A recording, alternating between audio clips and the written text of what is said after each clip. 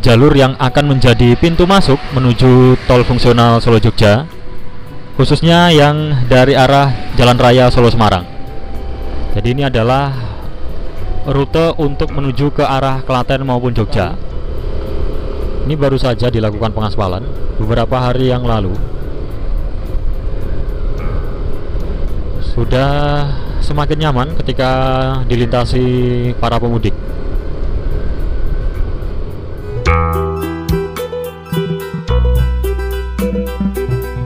Assalamualaikum warahmatullahi wabarakatuh.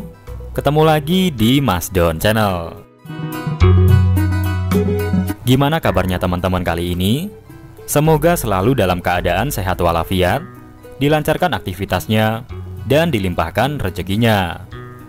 Buat yang sedang sakit, semoga lekas diberi kesembuhan.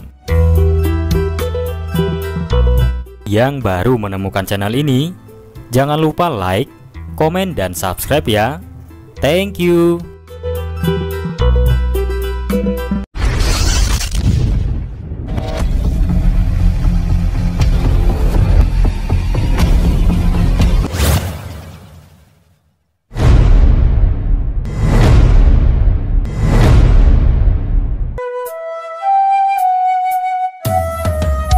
Halo teman-teman, saatnya kita jelajah virtual lagi ya.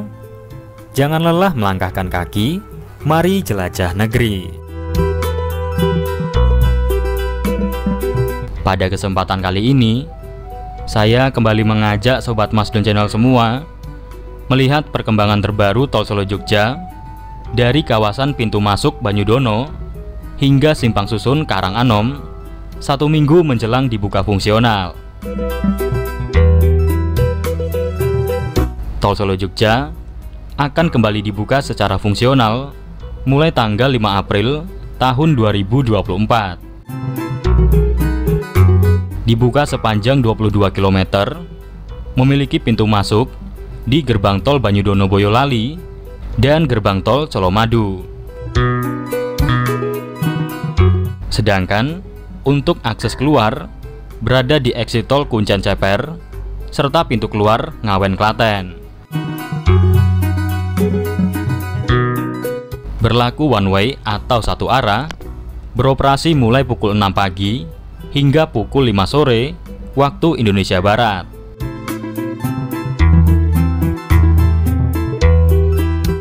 Oke teman-teman, berikut saya tampilkan update terbaru Tol Solo Jogja dari pintu masuk Banyudono hingga kawasan Simpang Susun Karanganom Klaten. Selamat menyaksikan.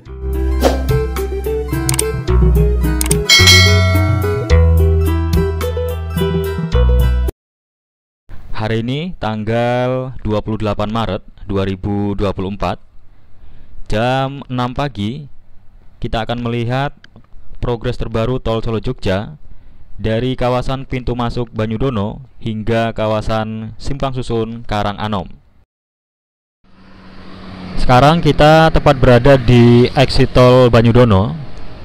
Ini adalah jalur yang akan menjadi pintu masuk menuju tol fungsional Solo Jogja, khususnya yang dari arah Jalan Raya Solo Semarang. Depan ini adalah Jalan Raya Solo Semarang. Apabila timur itu mengarah ke Solo dan Kartosuro, sedangkan barat ini yang mengarah ke pusat kota Boyolali, Solo Tigo dan juga arah Semarang. Nantinya kendaraan yang ingin menuju tol Solo Jogja maupun tol Trans Jawa, pintu masuknya ada di sini ya teman-teman. Ini. Kemudian nanti melewati gerbang tol Banyudono dan simpang susun Kartosuro. Kondisinya terkini sudah rata bagian cor jalan sudah rata dengan aspal jalan raya Solo Semarang sudah sangat siap untuk dilintasi pada saat mudik lebaran 2024 mendatang. Di sini sedang ada pengerjaan untuk saluran drainase di depan sana itu dan juga yang di depan sana. Kita lanjut mengarah ke gerbang tol Banyudono dan melewati simpang susun Kartosuro. Kemudian akan berlanjut ke arah simpang susun Karanganom. Klaten ya teman-teman Untuk kondisi di kawasan exit tol Banyudono ini guardrail atau pagar pengaman bagian pinggir sudah terpasang dengan rapi baik yang di sisi barat maupun sisi timur dan juga yang dinding bagian tengah sudah terpasang dengan rapi. Sudah selesai untuk pengecoran dinding bagian tengah Tol Solo Jogja akan kembali dibuka secara fungsional mulai 5 April hingga 15 April 2024 atau kurang lebih sekitar 10 hari ya teman-teman. Untuk memperlancar arus mudik lebaran dan juga arus balik lebaran. Nah yang jadi kabar baiknya Tol Solo Jogja ini akan dibuka secara gratis. Ya sama seperti saat dibuka fungsional lebaran tahun lalu dan juga dibuka fungsional libur Nataru kemarin. Di depan untuk gerbang tol Banyudono sudah mulai terlihat.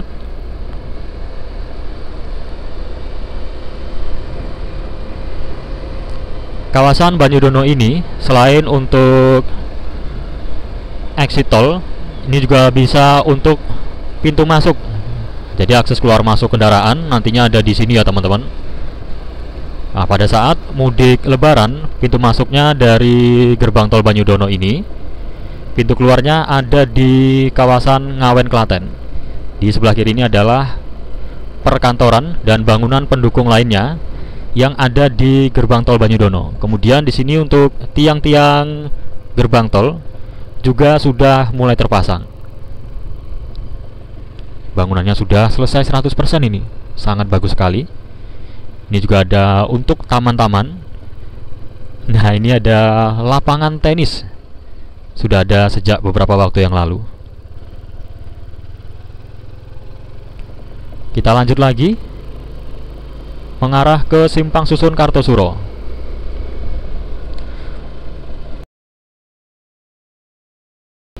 Gerbang tol Banyudono ini terbilang cukup luas ya teman-teman. Lah ini luas sekali. Lebih luas dari gerbang tol Karanganom.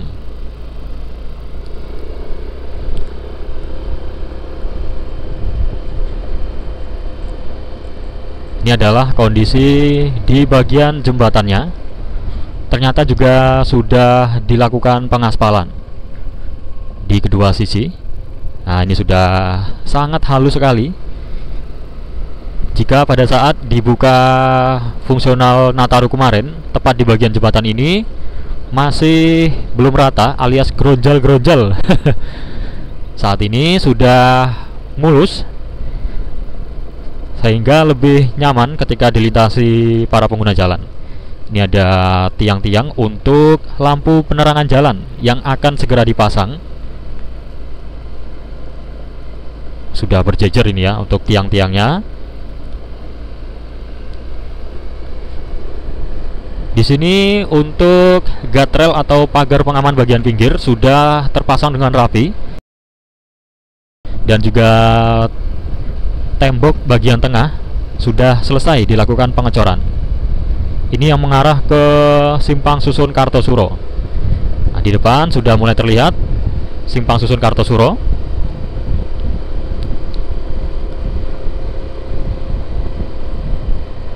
Ini ada jalur percabangan. Mohon maaf ini agak gelap ya teman-teman karena backlight melawan cahaya. nah, ini ada pelang penunjuk arah. Apabila kiri, ini yang mengarah ke tol Transjawa.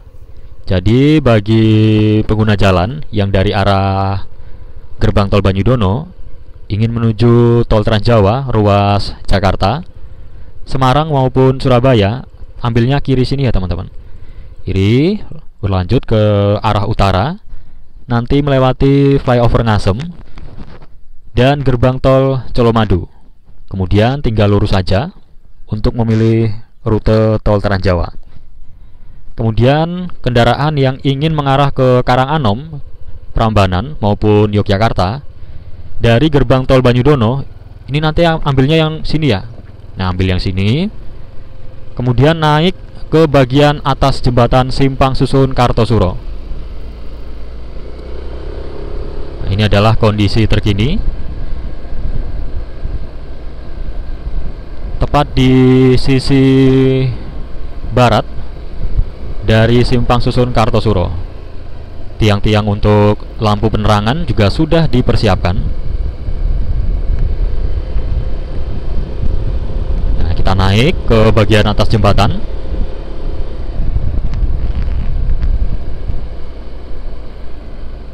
Nah, ini adalah jembatan Simpang Susun Kartosuro. Kondisinya sudah teraspal baik yang di sisi utara sini maupun yang di sebelah atau sisi selatan. Sudah sangat siap untuk dilintasi mudik lebaran 2024 mendatang. Kita berlanjut lagi menyusuri dari gerbang tol Banyudono tadi hingga kawasan Simpang Susun Karanganom yang berada di STA 13 atau kilometer 13. Jadi ini adalah rute untuk menuju ke arah Klaten maupun Jogja. Kita harus melewati lengkungan atau perputaran. Sini untuk kondisinya. Nah, ini juga banyak tiang-tiang untuk penerangan jalan yang sudah siap untuk dipasang.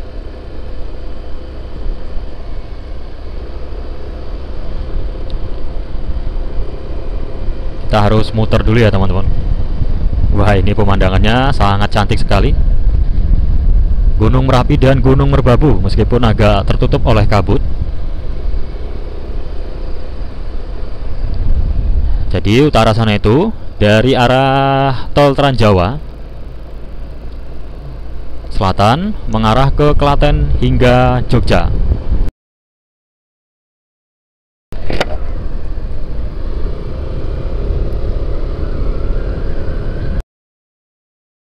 Tadi kita ada di atas sana dan untuk gerbang tol Banyudono ada di sisi barat sana. Kita lanjut mengarah ke selatan. Di sisi selatan dari simpang susun Kartosuro ini terlihat untuk rambu lalu lintas juga sudah mulai terpasang. Ini ada batas kecepatan dan ada larangan berhenti tepat di bagian sini kecuali darurat nah, dilarang berhenti kecuali darurat kabarnya tol Solo Jogja akan dibuka fungsional mulai pukul 6 pagi hingga pukul 5 sore waktu Indonesia Barat.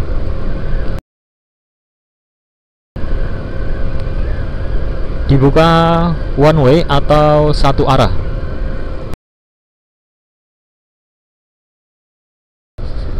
Untuk menuju ke uh, exit tol Karanganom 9 km lagi sedangkan Klaten 17 km dan Prambanan 28 km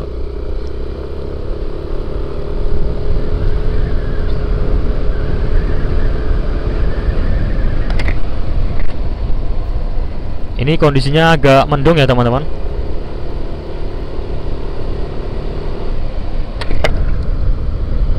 Kita akan menyusuri kurang lebih sekitar 13 km di video saya sebelumnya sekitar tiga hari yang lalu ya kalau tidak salah sudah saya upload rute lengkap dari titik awal tol Solo Jogja hingga titik akhir tol Solo Jogja yang akan dibuka secara fungsional pada mudik lebaran 2024 mendatang. Bagi teman-teman yang penasaran kondisinya bisa cek di Mas Don Channel. Dan untuk progres selanjutnya akan kita update terus secara berkala. Untuk memberikan informasi bagi para pemudik Lebaran 2024 jadi Tol Solo Jogja pada Lebaran 2024 ini dibuka sepanjang 21 hingga 22 km ya teman-teman. Jauh lebih panjang daripada lebaran tahun 2023 lalu yang hanya dibuka sepanjang 6 km dan pada saat mudik Nataru kemarin dibuka sepanjang 13 km nah pada lebaran 2024 ini dibuka sepanjang 22 km ini untuk kondisi jembatannya. Sebagian masih ada yang belum diaspal. Kemungkinan dalam waktu dekat akan segera diaspal. Karena masih adanya perbedaan ketinggian antara lantai jembatan dengan jalan tol. Sehingga ketika kita melintas nah ini ada getaran. Geronjal-geronjal karena tujuan dari aspal yang tepat berada di jembatan tol ini selain untuk menghaluskan permukaan jalan juga sekaligus untuk menstabilkan beban kendaraan ketika melintas tepat di bagian atas jembatan. Sehingga beban kendaraan lebih merata dan mampu mencegah keretakan pada struktur jembatan. Ini ada himbauan dilarang berhenti. Kemudian di sini juga ada info jalan tol. Nah ini apabila ada perlu bantuan silahkan hubungi nomor yang tersedia di sepanjang tol ini. Petugas akan segera menuju lokasi. Untuk membantu para pengguna jalan.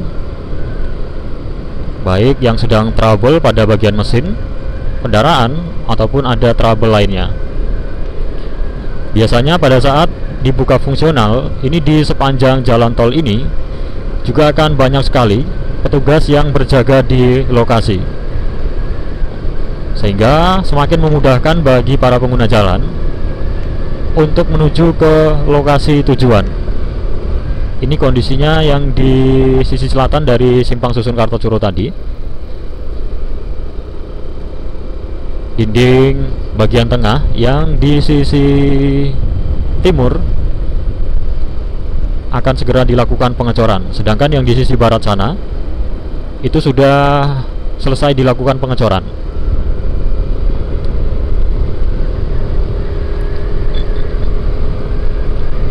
kita masih berlanjut ke arah selatan.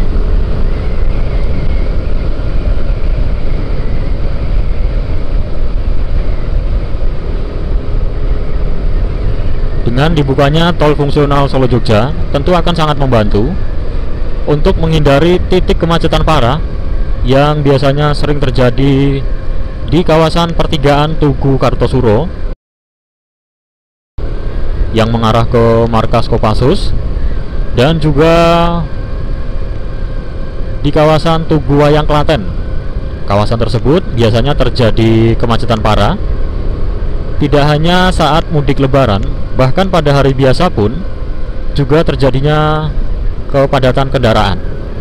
Sehingga dengan adanya tol fungsional Solo Jogja ini bisa memangkas waktu tempuh dan juga jarak tempuh kendaraan.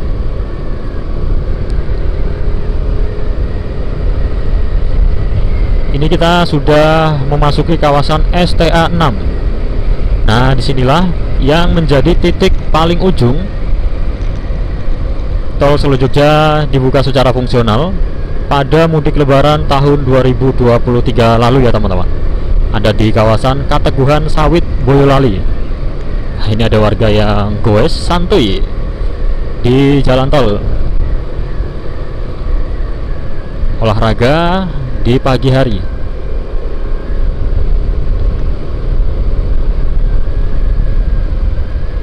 Lebaran tahun 2023 lalu. Di sini ada akses untuk turun atau akses keluar. Kemudian berlanjut ke kiri sana. Kiri sana itu mengarah ke perempatan Sanggung dan mengarah ke Tugu Wayang Klaten. Ini kita masih lanjut lagi ke arah selatan sampai di simpang susun Kartosuro. Ini silahkan dicatat untuk info tolnya. Videonya dijeda apabila terlalu cepat. Ini adalah kondisi jembatan Kateguhan Sawit. Akan segera dilakukan pengaspalan juga ini karena masih adanya perbedaan ketinggian permukaan jalan.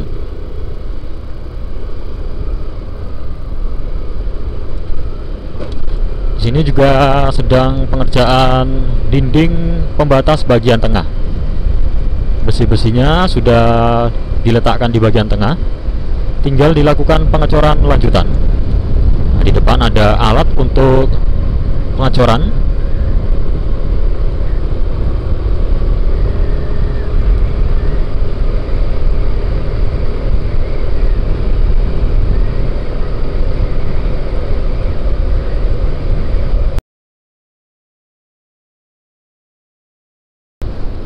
Ini adalah alat untuk pengecoran dinding bagian tengah. Ini terlihat masih belum terlalu kering ya. Karena baru saja dilakukan pengecoran. Sejauh ini untuk kondisi jalanan tol Solo Jogja yang mengarah ke Simpang Susun Karanganom ini sudah mulus di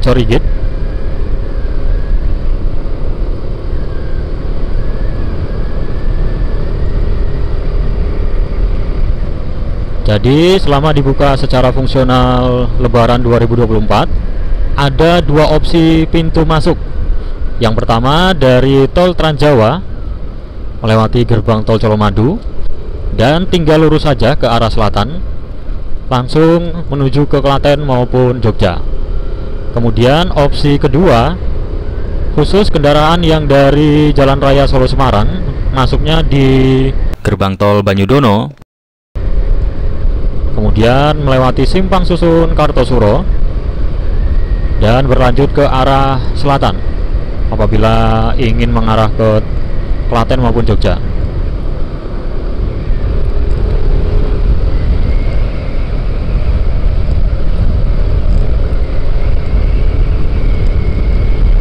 Sejauh ini juga untuk kondisi jalan tolnya baik guardrail atau pagar pengaman pinggir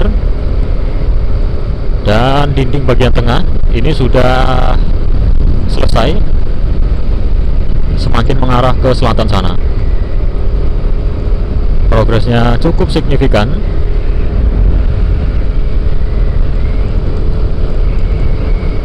Untuk estimasi waktu tempuh selama dibuka fungsional ini dari titik awal tol Solo Jogja atau kawasan Ngasem hingga simpang susun Karanganom ini kurang lebih 20 menit ya teman-teman dengan kecepatan di bawah 100 km per jam. Tidak sampai 100 km per jam dapat ditempuh dalam waktu 20 menitan. Sedangkan dari STA 0 atau kawasan Ngasem untuk menuju ke titik paling ujung tol Solo Jogja yang akan dibuka secara fungsional atau di kawasan Ngawen Klaten sana ini waktu tempuh kurang lebih sekitar 50 menit. Itu pun masih dengan kecepatan rendah. Di bawah 100 km per jam. Tidak sampai 100 km per jam. Dapat ditempuh dalam waktu sekitar 50 menitan. Bahkan bisa lebih cepat karena terakhir saya menyusuri di sebagian ruas tol Solo Jogja sedang adanya pengecoran dasar sehingga kita harus naik turun ya. Yang tentu juga cukup membuang waktu. Nah pada saat dibuka mudik lebaran 2024 mendatang kondisi jalanannya sudah full dicor.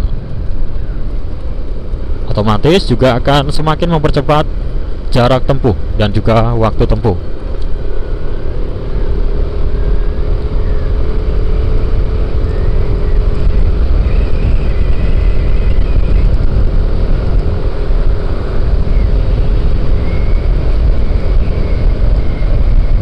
Sedangkan bagi kendaraan yang bisa melintasi tol fungsional Solo Jogja ini hanya kendaraan golongan satu saja atau kendaraan jenis ringan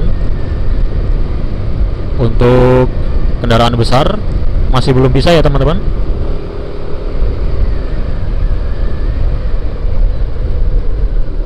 Sini juga kondisi di bagian jembatan masih belum diaspal. Kemungkinan akan segera menyusul dalam waktu dekat.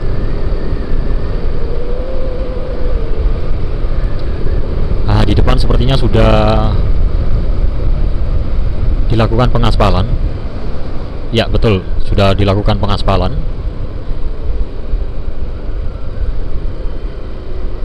Nah ini ya. Ada alat berat untuk melakukan pengaspalan juga di sini. Aspalnya sudah sangat mulus sekali. Ini baru saja dilakukan pengaspalan beberapa hari yang lalu.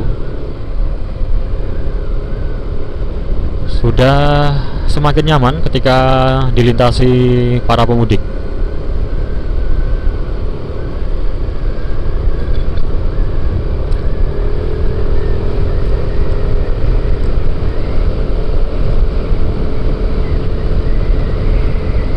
Hingga sejauh ini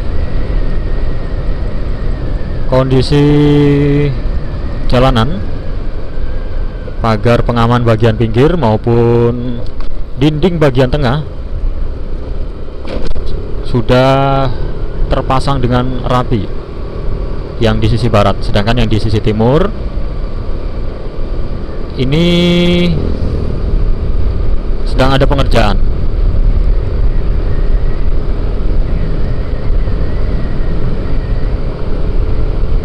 Di depan nampaknya juga bagian jembatannya sudah diaspal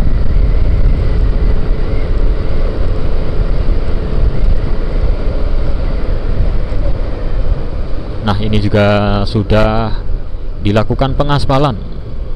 Luar biasa progresnya cukup signifikan. Ini kita sudah dekat dengan kawasan Simpang Susun Karanganom Ini pagar-pagarnya sudah dipersiapkan. Nanti akan dirangkai di bagian tengah Kemudian dilakukan pengecoran banyak sekali nih ya berjejer.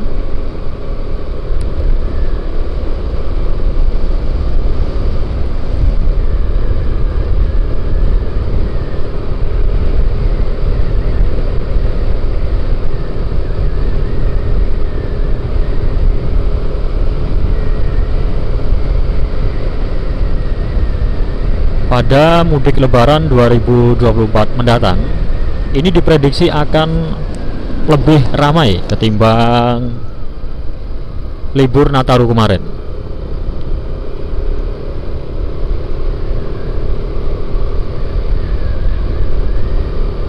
Sehingga tol Solo Jogja sedang dipersiapkan secara matang untuk bisa dilintasi oleh lonjakan para pemudik. Sini sedang ada pengecoran lanjutan di bagian dinding tengah Nah ini masih belum terlalu kering. Ini juga ada kendaraan proyek yang sudah mulai beroperasi. Meskipun ini masih cukup pagi Jam setengah tujuh ini.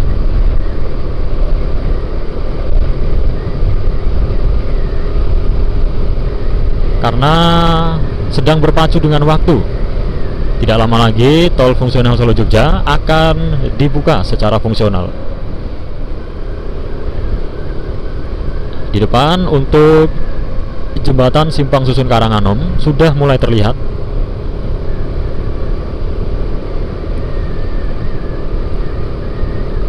Kita sudah berada di sekitaran Simpang Susun Karanganom. Ini juga ada beberapa warga yang berada di lokasi untuk menyaksikan langsung progres terbaru dari pembangunan tol Solo Jogja di kawasan Simpang Susun Karanganom di sebelah kiri ini sedang adanya pengerjaan konstruksi jalan ini ya nah, itu sedang ditutup dilakukan pengerukan Nah ini kita sudah berada di simpang susun Karang Anom atau simpang susun kedua di Tol Solo Jogja. Ini adalah kondisinya terkini. Terlihat banyak sekali tolo-tolo atau rambu lalu lintas sementara yang sudah mulai ditata di lokasi.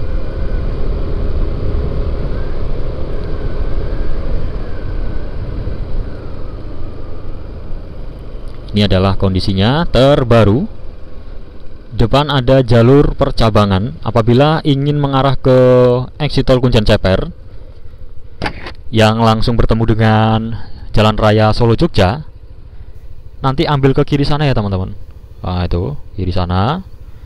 Dan juga khusus bagi kendaraan yang ingin mengarah ke Delanggu, Pedan ke arah Sukoharjo maupun ke arah Wonogiri keluarnya di exit tol Kuncen Ceper. Sedangkan bagi kendaraan yang ingin mengarah ke pusat kota Klaten maupun ke arah Jogja, ini masih lurus melewati bagian bawah jembatan sana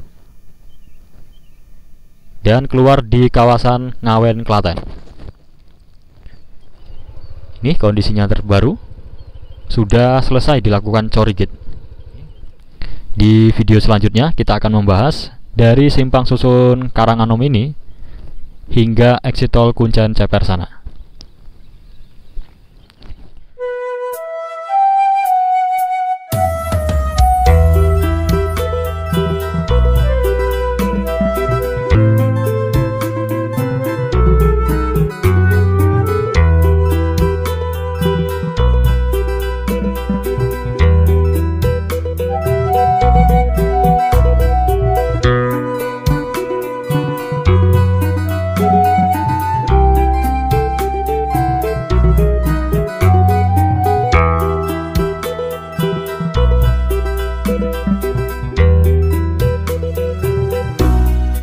Oke teman-teman, cukup sekian tayangan video dari saya kali ini.